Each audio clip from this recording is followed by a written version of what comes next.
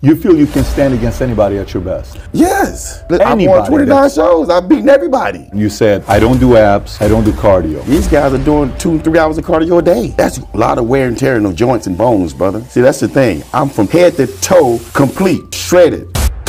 I want to talk about your best friend here, Sean Ray. He already done rebutted what he said already. But I want to hear from you. This era is totally different from the 90s. Ronnie's still number one for you all time. And yes, What did he look like when you're on stage with him? a monster. 첫 번째, 2020년 아놀드 클래식 결과에 대해서 덱스 잭슨은 본인의 승리를 점쳤다고 한다. 그만큼 50이 넘은 나이이지만 여전히 승부욕이 강한 남자이다. 20년이 넘는 커리어 동안 큰 부상 없이 롱런을 해왔던 덱스 잭슨은 사실 본인이 top6를 더 이상 할 수 없을 시에 은퇴를 하겠다는 발언을 했다. 하지만 2017년 올림피아에서 덱스 잭슨은 7위로 마무리한다. 많은 사람들이 아직까지 덱스 잭슨의 은퇴를 완전히 믿고 있지 않다는 진행자의 질문에 덱스 잭슨은 본인이 떠날 시에 눈물을 흘리지 말라라는 답변을 남겼다. 그 전까지의 은퇴에 대한 발언이 if였다면 이번엔 정말로 은퇴를 하겠다는 의사가 확고한 덱스 잭슨의 모습이었다. 두 번째, 2010년 이후 덱스 잭슨은 2017년을 제외하고 찰스 글래스란 코치와 함께하고 있다.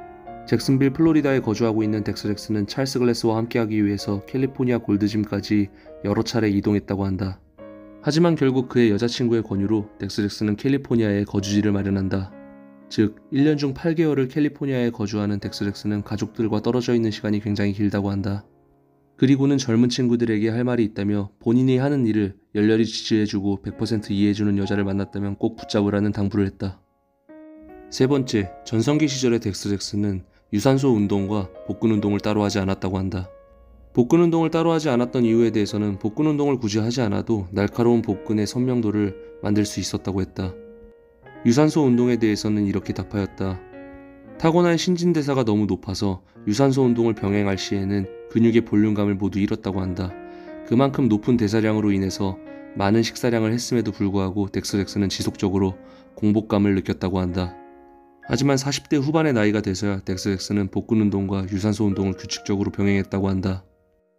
복근 운동을 하는 메인 원인에 있어서는 복부를 컨트롤하기 위함이고 유산소 운동을 병행하는 이유에 대해선 본인이 과거 전성기만큼 근육의 선명도가 날카롭지 않다고 생각했기 때문이라 했다. 또한 나이가 듦에 따라서 이 두 가지를 추가로 지키다 보니까 덱스 잭슨은 더 많은 식사를 진행해야 했다고 한다. 최근 3년간 덱스 잭슨의 하루 식사량은 10끼라고 한다. 그렇지 않을 시에는 근육의 볼륨감을 잃을 수도 있기 때문에 덱스 잭슨은 2시간에 한 번씩 꼭 식사를 한다고 한다. 잦은 식사임에도 불구하고 덱스 잭슨은 여전히 식사와 식사 간에 허기를 느낀다고 한다.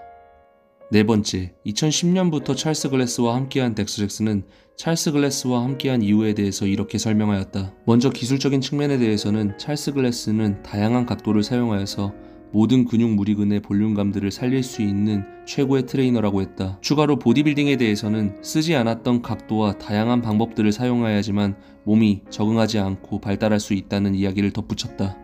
둘째로 찰스 글래스로부터 받는 동기부여에 대한 이야기를 하였다. 젊은 시절 플렉스 윌러를 동경해왔던 덱스 잭슨은 플렉스 윌러와 함께 훈련했던 찰스 글래스 역시 동경해왔다. 그렇기에 찰스 글래스와 함께한 뒤 그를 실망시키고 싶지 않은 마음도 있기 때문에 더욱더 시합에 집중할 수 있었다고 한다. 다섯 번째, 미래의 미스터 올림피아를 이끌어갈 인재에 대해서 물어봤을 때 덱스 잭슨은 3명의 선수를 꼽았다. 첫 번째가 바로 패트릭 무어이다. 덧붙여 덱스 잭슨은 향후 1, 2년 안에 될 문제가 아니기 때문에 천천히 시간을 갖고 사이즈를 불려나간다면 분명 좋은 결과가 있을 것이라는 이야기를 하였다. 두 번째로는 설지오 올리바의 아들 설지오 올리바 주니어를 꼽았다. 특히 설지오 올리바 주니어가 이번 2020년 아놀드 클래식에서 보인 모습은 굉장히 인상적이었다. 수많은 라인업을 뚫고 top5에 기록한 것으로도 모자라 엄청난 사이즈와 다이어트의 레벨을 동시에 가져왔기 때문에 어쩌면 스티브 쿠글러보다 더 좋은 순위를 받았어야 한다 라는 이야기가 나올 정도로 설지오 올리바 주니어의 모습은 대단했다. 그리고 2020년 아놀드 클래식에서 4위를 기록한 스티브 쿠글러를 꼽았다. 덧붙여 이들이 당장 롤리 윙클라, 브랜든 커리, 윌리엄 보낙 같은 top level의 선수들과 경쟁하기에는 부족하지만 향후 몇 년이 지난 뒤에 이 세 명의 선수가 top level의 자리에서 경쟁할 수 있을 것이라는 이야기를 하였다. 소셜 네트워크 시대가 도래하면서 대중들의 관심과 비판을 동시에 받고 있는 현 바디빌더들이 부정적인 의견에 대해서 스트레스를 덜 받고 본인의 갈 길을 정진한다면 좋은 결과가 있을 것이라는 말을 덧붙였다. 여섯 번째, 숀 레이는 밸류테이먼트와의 인터뷰에서 현대의 바디빌더들이 90년대로 온다면 top10 안에 들 선수가 덱스 잭슨을 제외하고 아무도 없다고 했다. 그리고 덱스 잭슨 역시 top6 안에 드는 것은 힘들 것이라는 이야기를 덧붙였다. 이에 덱스 잭슨은 숀 레이가 말했던 90년대 당시에 본인은 데뷔전을 치룬 신인이었고 당시의 체중이 90kg 정도밖에 나가지 않았다고 한다. 물론 같은 키였던 숀 레이와 비슷한 체중으로 무대에 섰던 90년대 말 올림피아에서 본인이 패한 것은 틀림없는 사실이지만 2001년 숀 레이가 은퇴를 했던 당시의 덱스 잭슨의 체중은 230파운드, 즉 100kg가 넘는 체중이었다고 한다. 숀 레이보다 더 낮은 순위를 받았지만 덱스 잭슨은 본인이 숀 레이보다 더 큰 사이즈와 다이어트도 더 잘 된 상태였다고 말을 하였다. 그리고 2001년 이후 덱스 잭슨은 조금씩 90년대 바디빌더들을 이기기 시작하였다. 덧붙여 90년대의 바디빌딩과 현대의 바디빌딩은 완전히 다른 게임이라고 하였다. 90년대에는 볼륨감을 상실하면서까지 완벽한 다이어트를 가져오는 것이 트렌드였지만 현대의 바디빌딩에서 볼륨감은 굉장히 중요한 포인트라고 말을 덧붙였다. 이어 90년대의 방식으로 현대의 바디빌딩 무대에 선다면 볼륨감 싸움에서 완전히 밀려 순위권 안에 들지 못할 것이라는 이야기를 하였다. 마지막 로니 콜먼이 두 번째 미스터 올림피아 타이틀을 도전했던 1999년부터 지금까지 활약하고 있는 덱스터 잭슨이 꼽은 최고의 바디빌더는 로니 콜먼이다.